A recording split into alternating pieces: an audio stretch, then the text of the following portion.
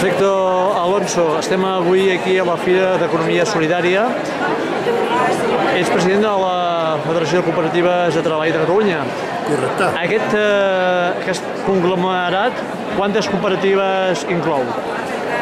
La Federació de Cooperatives de Catalunya és la entitat que representa totes les cooperatives de treball associat. A Catalunya hi ha aproximadament unes 4.700 cooperatives de totes les branques i de treball més, eh, hi ha unes 3.000 cooperatives.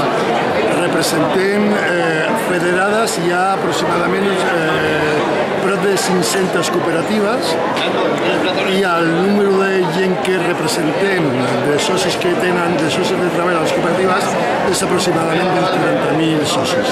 30.000 socis, i això en el conjunt del, del pes de l'economia catalana, què representa? El moviment cooperatiu, dintre del que és el PIB, el moviment cooperatiu en general, perquè no està sectoritzat, representa aproximadament el 6% del PIB. Per tant, és un pes més que destacable i que moltes vegades no es té en consideració. És Quin és l'àmbit més usual de les cooperatives que hi ha a Catalunya?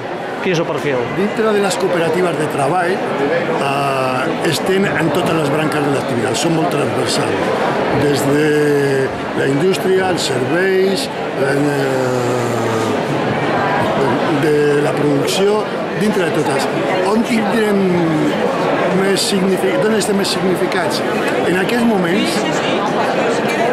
notem que el moviment cooperatiu s'està desenvolupant dintre d'uns sectors molt novedosos Com? eh, tot el que és eh, energies alternatives, tot el que és eh, tecnologia, noves, eh, noves tecnologies, vull dir, mai s'havia passat perquè tenim tota una arrel de gent de, que venia d'empreses en crisi que havien agafat I s'han fet que cooperatives? s'havien fet cooperatives, però en aquest moment, degut a la llei de concursos, eh, impedeixen la possibilitat que la deuta sigui privilegiada als treballadors, per tant, adquireixin la, la fàbrica.